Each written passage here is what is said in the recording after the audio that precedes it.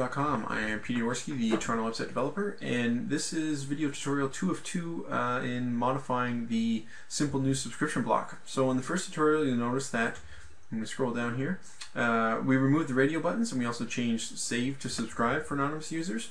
Uh, in this video tutorial we're going to look at eliminating the email label here um, getting rid of the subscribe button, replacing it with a uh, an image button, and filling in some uh, some jQuery here into the uh, the input box. So let's go ahead and we'll dive right into it.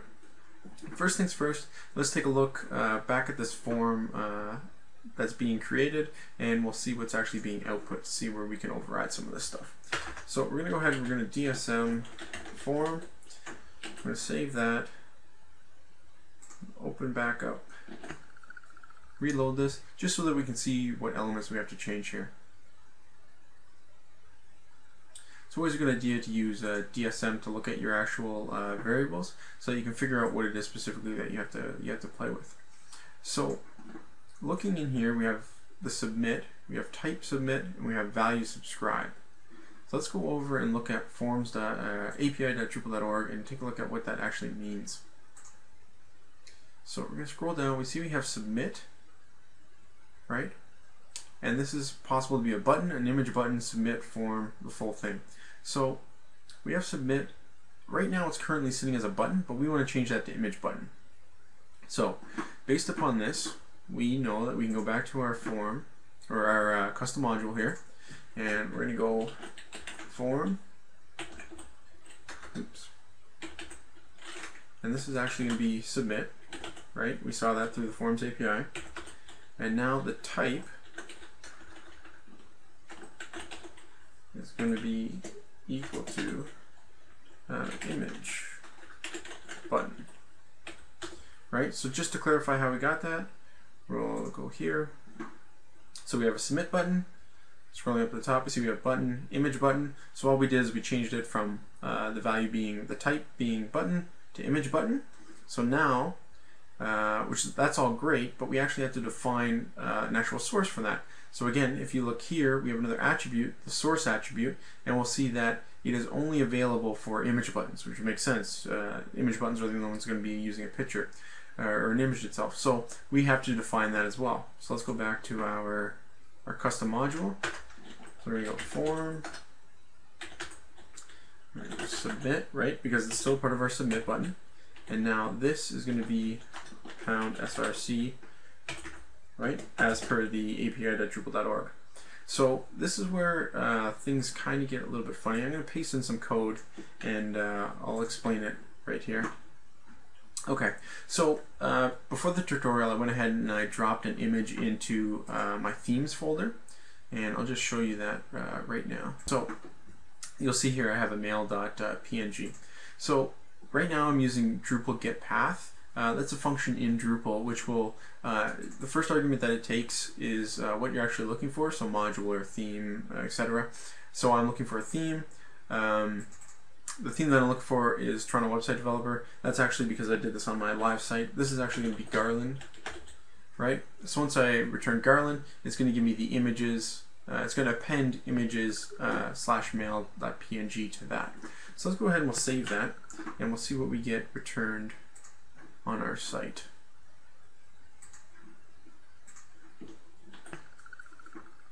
And there we go.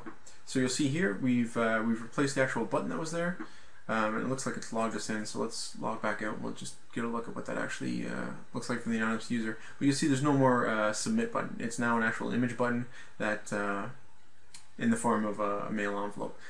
So we'll click on our array here. You can see we can go into the submit. You see our type is actually image uh, submit. Uh, our value, we want it to be subscribe. Users can't change that, so it stays as subscribe. And the source is now themes uh, slash garland slash images dot mail, and that actually comes from our, our code, uh, you know, appending the uh, images slash mail. So that's all great. Second part of this tutorial, let's add some jQuery to make this uh, pretty cool. So if you remember, We'll, uh, we'll just take a peek back at, at my live site, Toronto Website Developer, just to see what this end function is going to look like.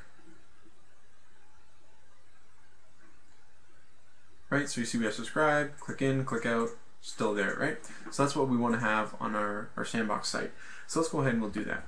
First thing we're going to do is we're going to go to a site which is joesak.com uh, and we're going to grab a, a jQuery script off of here. So um, we're going to go ahead and we're going to search for autofill. Uh, and I should note that um, this autofill, this part of the tutorial, this is based on the Lullabot video uh, tutorial, the module development.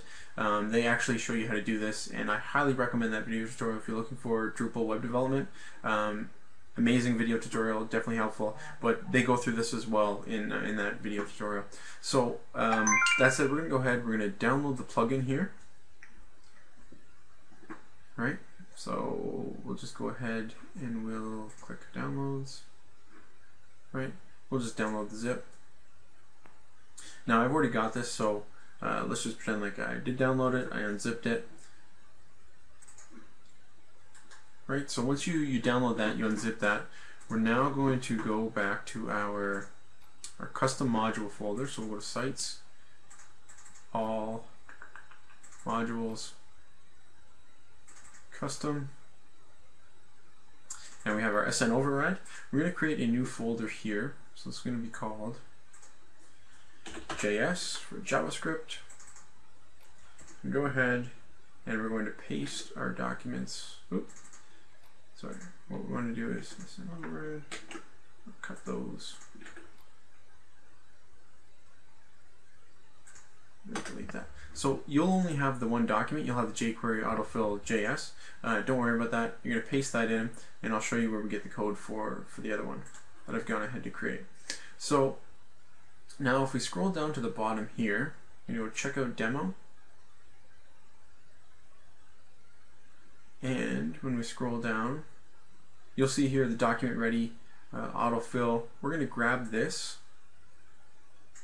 We're going to copy that. And I'll open up my version to compare.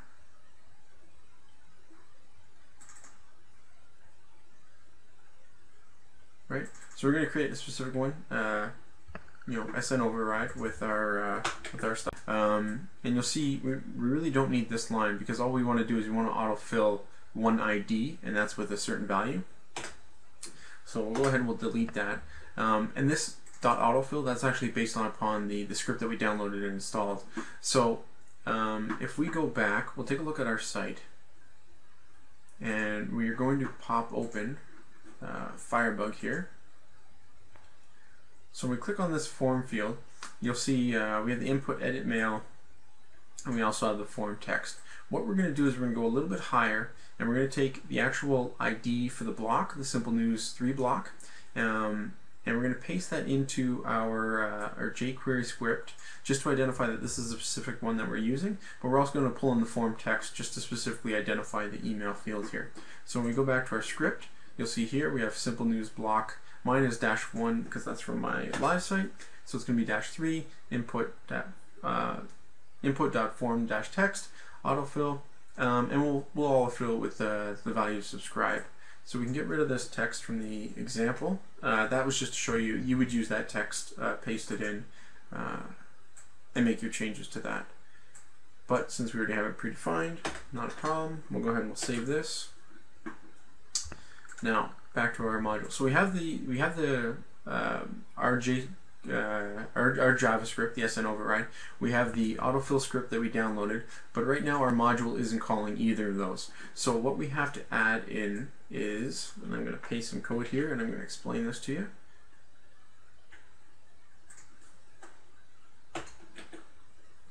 And I can just get rid of this line, sorry. So let's add some spaces so we can get a clear view of what we're doing here.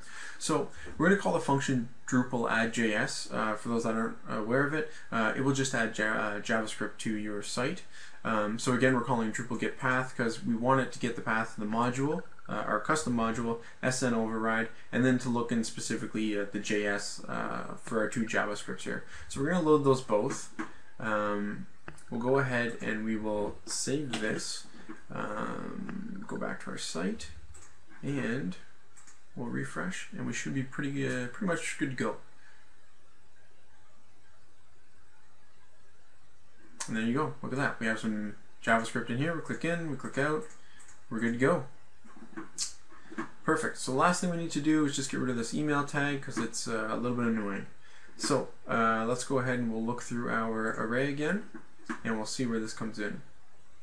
So first thing, let's look at mail. So we'll see mail, we have a title of email, we have a text field, the full thing. Um, require true max length size. So let's go ahead and let's get rid of that. So we're going to pop into our module.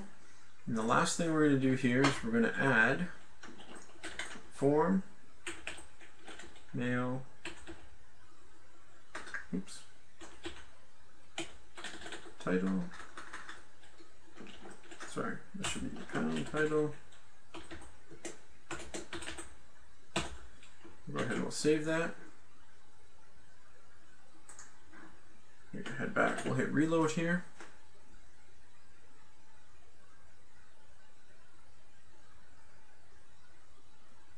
And look at that. We no longer have a label. We have a pretty cool JavaScript uh, text box. The only thing that we'd want to do is we want to make this picture inside of the box just so that it's a little bit uh, a little bit cooler. You can do that with some CSS. So we'll just quickly just open up Firebug here. So let's go ahead and we'll make this look pretty. Uh, I'm going to do it right in Firebug uh, just to do the element styles, but you would obviously do this in your CSS. I'll just give you an, an idea of what this should look like. So let's go ahead and click on the envelope. So we're just going to edit the style here. So first thing, position has to be absolute, right? Because we don't want to change. Um, so margin top, probably going to be minus 30 px to move it up. Minus 32 px. Minus 35 px. Perfect, so that's right inside. Um, and actually, what we should do first is with this form, we want to add some padding so that uh, if somebody's inputting their email address, uh, it won't overwrite.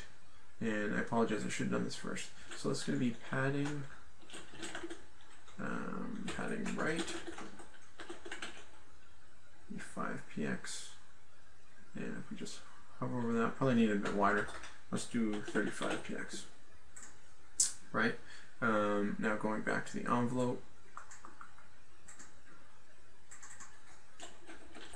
margin left, probably going to be about 125, a little more, 140. As you can see, my estimations are terribly off. Probably a little bit nicer. There we go. So that uh, the reason why we did that, I'll show you right now. So if somebody clicked in here and went, you know, Peter at Toronto website developer.com, you see they don't overwrite the, the actual envelope. Uh, it just makes it look a little bit nicer. Uh, so then they click submit, and that's it. So uh, just to recap, a very short video tutorial.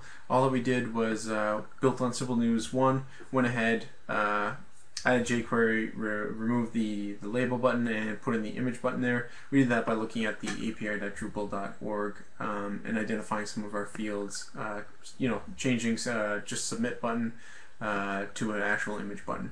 Um, with that, please drop a comment. Let me know if this was helpful. Um, I've also changed up the form for the uh, Drupal video request tutorials. Um, just trying to make it easier. Let me know if there's something you specifically want to see. Uh, I'd be happy to help out. Uh, otherwise, I'm just I'm kind of guessing right now, um, or picking up things as I find them useful. Uh, I think the next one uh, that I'm going to look at is probably going to be a video queue module, uh, keeping along with uh, developing custom modules. Uh, I went ahead and developed a related content video tutorial for a client. I thought I'd just walk through how we developed that module, but if you think that'll be helpful, drop me a line. I'll get it up sooner rather than later. other than that, rate the video, leave a comment, and I'll talk to you later. Thanks very much.